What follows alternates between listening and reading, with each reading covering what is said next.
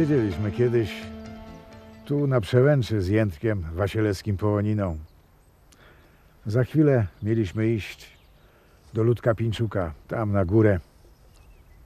Mówię do Jędrka, wiesz, popatrzymy sobie na Bieszczady z góry, z Połoniny Wetlińskiej. A on mówi, kiedyś popatrzymy sobie na Bieszczady z niebieskich połonin. To dopiero będzie widok. Jędrek już od kilku lat spogląda z niebieskich połonin na Bieszczady. Podobnie jak Zdzicho Rados, Janusz Zubow i Piotr Adamski, zwany Francuzem. Dzisiaj w bieszczadzkich klimatach chcę Państwu przypomnieć fragmenty moich felietonów. Właśnie o nich. Za tych, co na niebieskich polinach, ok? A na pewno. Tradycji ma być zadość, przy pracy to nie przeszkadza nam. Za nich.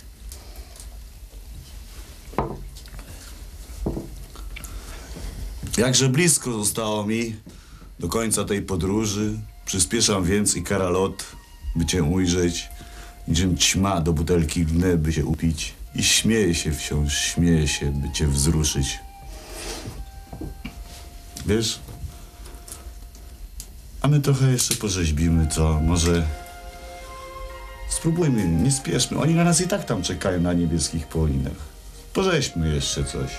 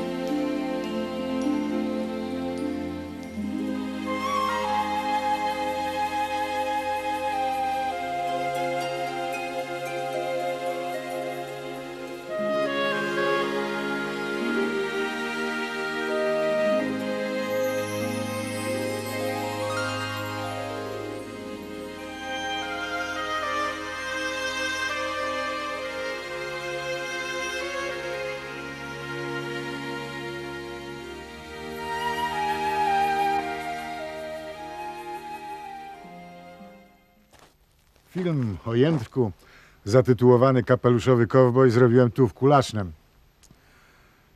Mieszkał w tym domu Ewy i Władeczka Wójciaków, którzy przygarnęli go wtedy bezdomnego. Jędrek już był chory. Alkohol pustoszył jego psychikę. Były takie momenty, kiedy wydawało się, że nie skończymy zdjęć do tego filmu. Jędrka Połoninę znałem a, chyba z 20 lat. Czasami przez kilka miesięcy nie dawał znaku życia, innym znów razem przychodził późno wieczorem i zostawał u mnie w domu na kilka dni. Jego śmierć tragiczna, bezsensowna i o wiele za wczesna uświadomiła mi, jak bardzo kruche jest ludzkie życie. Jędrek przeżył go zaledwie pół. I dziwnym zrządzeniem losu mojego filmu o Jędrku też zostało tylko pół. Ale dobrze, że chociaż pół. Znowu widzę, mrok zostawiłem jak łach znoszony. Zbija się ze mnie w niejasny gołąb, w nieba koronę. Kłaniam się światłu i znowu widzę, mrok zostawiłem.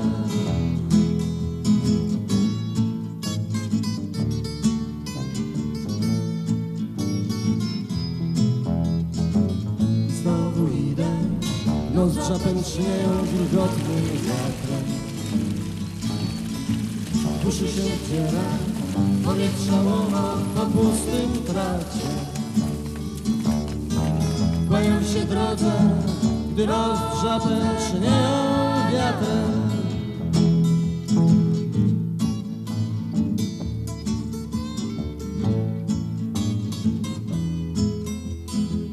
Znowu śpiewam, język mi bije sercem od dzwonu. Po dniach milczenia krzykiem wędruję po nieboskłonie.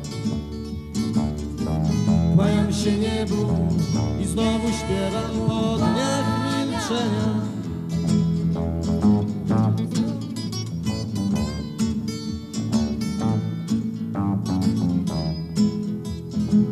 I znowu jestem, grzeją mnie myśli jak wódka w żyłach.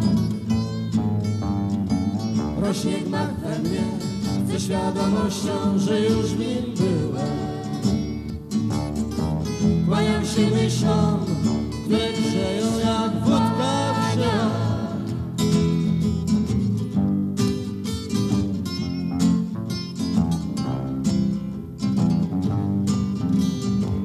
I znowu czuję dookoła siebie ludzką.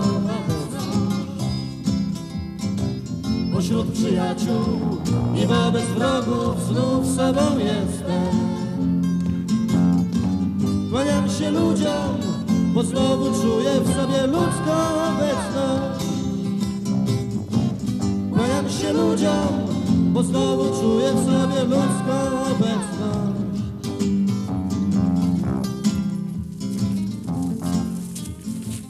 Jędrek! Jędrek! To nieprawda, że Jędrek nie ma nic, bo on ma całe Bieszczady. To nieprawda, że Jędrek nie ma nikogo, bo on ma nas wszystkich. I w zagrodzie naszych serc zawsze będzie dla niego ciepły kąt, szklanka mocnej herbaty i kromka chleba, bodaj ze smalcem, kiedy spóźni się na pierogi.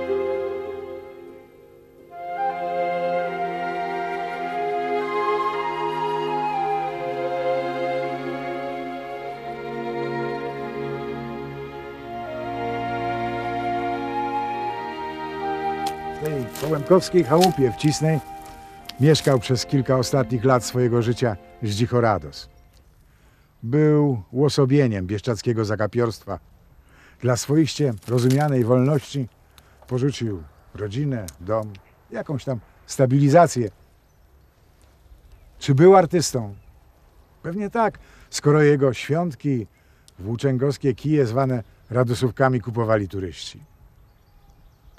Od czasu, kiedy Zdzicho przeniósł się na niebieskie połoniny, jego chata coraz bardziej wrasta w ziemię. I pewnie nie uda się w niej zrobić izby pamięci bieszczadzkich zakapiorów i majstrów bieda. pisał taki pan, że zamieszkuje na terenie Bieszcza 10 lat, nie czyni żadnych starań za zameldowanie, rzeźbi w drewnie, sezonem trudni się zbieraniem runa leśnego, prowadzi pasożytniczy tryb życia. O, zaskarżyłem go do sądu. Jeżeli pije, a tak, zwracałem się o zameldowanie, to mnie odmówili, bo było tak.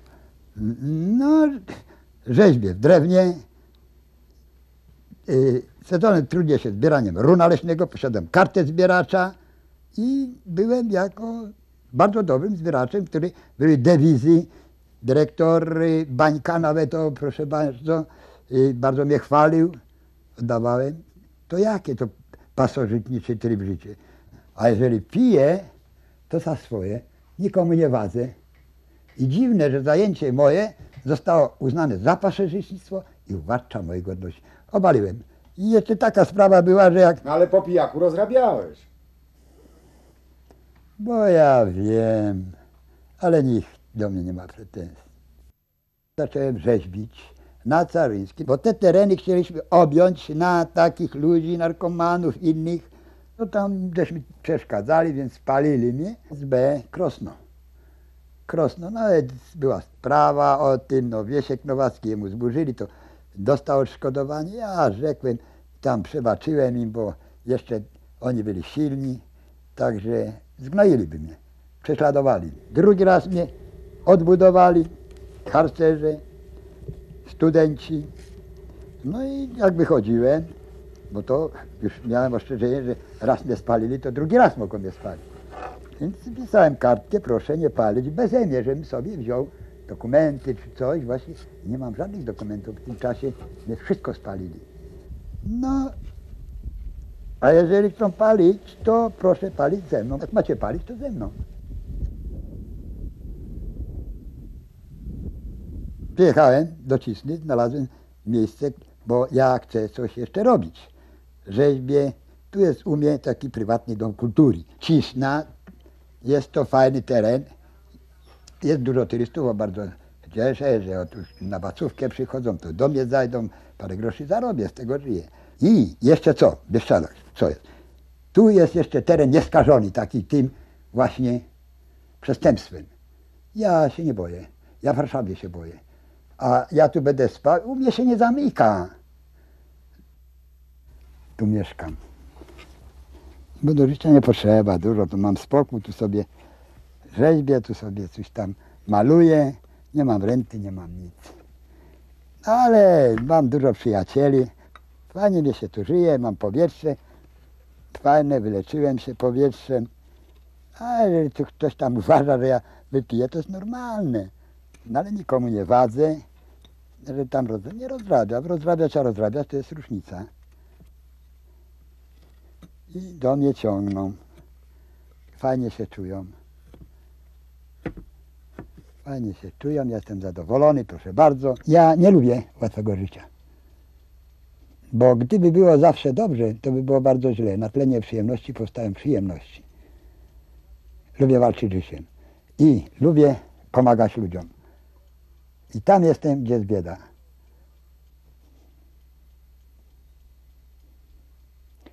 Bo ja to właściwie nie wiem, co to życie. Nie wiem. To jest tak potęga świata, że kto to zrobił, jak to zrobił. Mieć czyste sumienie. Ja kiedyś ogromne pieniądze znalazłem, dokumenty, dolary, jakieś tam bony, nie bony. Trzy dni ludzi szukałem, jest w gazecie, proszę bardzo. Chcieli mnie dać tam jakieś, no nie, ręce w górę podniosę. Tyle, nie. Ale mieli pół więc nie odmówiłem. Chociaż nie jestem takim pijakiem, bo niektórzy może sobie myślą, ale nie. Właśnie ja, żeby wódkę wypić, to musi być cukier, żebym szybko cukrem przekonał. Wino tak, ja lubię tylko wino, piwa nie.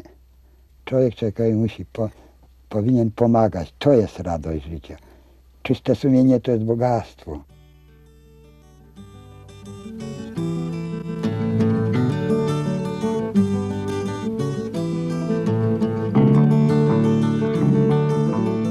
Skąd przychodził, kto go znał, kto mu rękę podał, kiedy nad rowem siadał, wyjmował chleb, serem przekładał i dzielił się z psem. Tyle wszystkiego, co z sobą miał, majster bieda.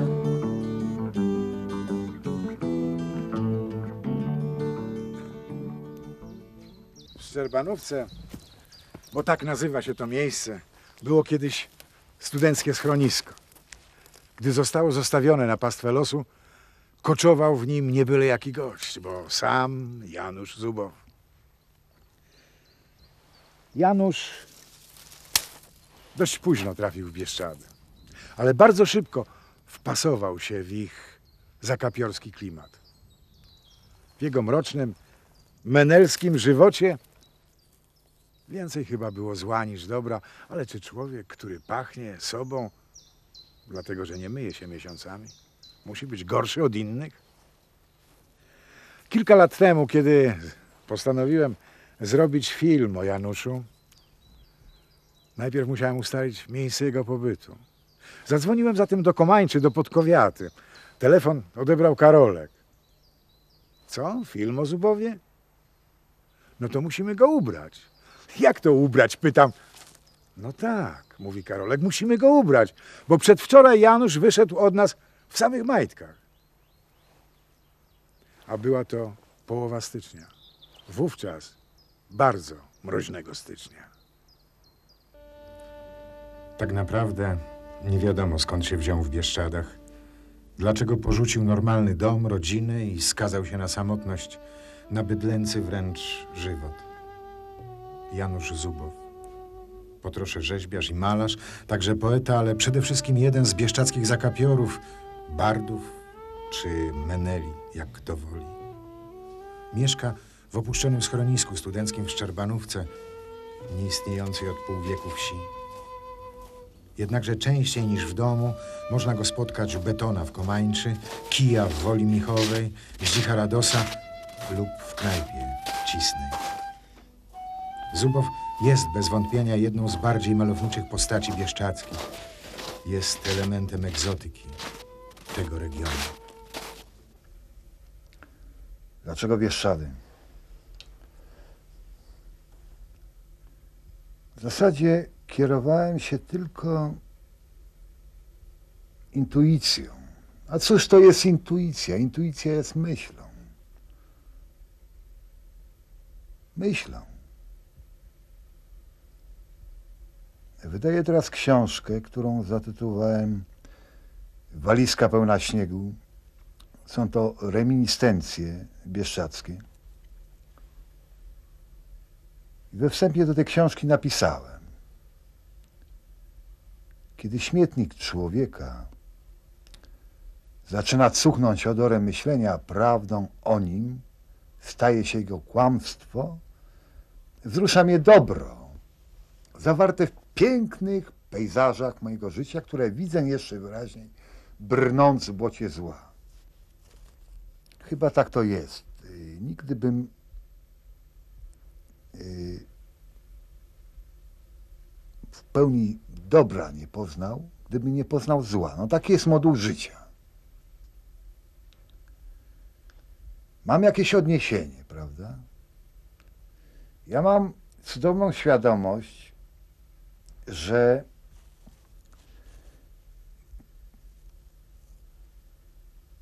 schodzę do potoku, piję wodę i mam świadomość, że ta woda jest w miarę czysta. I jeszcze jeden szczegół. Yy, kojarzę Sokratesa. Nieważne jest, y, czym pijesz. Ważna jest szczerość. Możesz nabrać dłoni mi tą wodę i ją wypić. Ja na przykład jak y, przeżywam stres, to idę do lasu bukowego i się odprężam. Jako rzeźbiarz. I widzę te formy dynamiczne, widzę tą naturę. Oczywiście nie każdy y, to zauważa. Plan musimy wykonać. Zetniemy te piękne buki. Ja wolałbym, żeby te Bieszczady zostały takie, jakie są. Bez tych drwali nie zostaną wilki. Ci, którzy chcą być zafascynowani naturą. Lubię ciepło. Zupa. Pamiętam moją matkę. Pamiętam jej czułość pamiętam też swego ojca.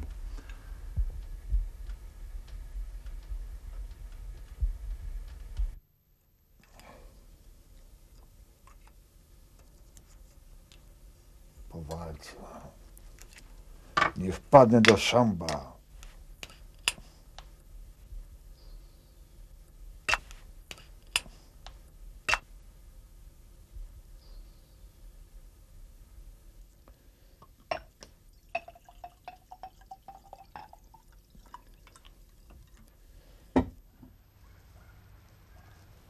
Rados i Janusz Zubow, chociaż za życia niezbyt się lubili, po śmierci leżą obok siebie. Gdzieś tu nieopodal powinien był spocząć Piotr Adamski, zwany Francuzem. Piotra, nie uwierzycie, po raz pierwszy spotkałem na wieczorze poezji. A wieczór poezji odbywał się w knajpie na przysłupiu. Alkohol miał być podawany dopiero po tym, jak Rysiek Krzociński skończy czytać przewidziane na ten wieczór swoje wiersze. Ktoś spragniony z tyłu sali krzyknął: Czytaj szybciej! I wtedy odezwał się Piotr. Cisza, bo ja słucham. I zaległa cisza jak makiem zasiał. Film o Piotrze nagrywałem w Moczarach, kiedy mieszkał już tam w domu pomocy społecznej. Trafił po zimie, kiedy wracał z knajpy i odmroził sobie nogi i ręce. I został w Moczarach na zawsze. pont d'Avignon, on ne vise, on y danse sur le pont d'Avignon, on danse tous en rond. Les dames dansent comme ça, les messieurs dansent comme ça. Sur le pont, sur le pont, sur le pont d'Avignon, on danse tous en rond. Przez niemal 40 lat ubarwiał bieszczacki folklor. Pierwszy raz trafił tu przypadkowo jako 18-letni młodzieniec. Wtedy był żołnierzem, już w stopniu starszego sierżanta. Po raz drugi przyjechał jako dorosły mężczyzna, kiedy życie wyrzuciło go za burtę i postanowił zacząć je od nowa, odmienić swój los. Piotra Adamskiego bieszczacka ferajna nazwała Francuzem i tak już zostało. mieszkałem i w tej ciśnie. A tam mam do teraz jeszcze mam tam pokój.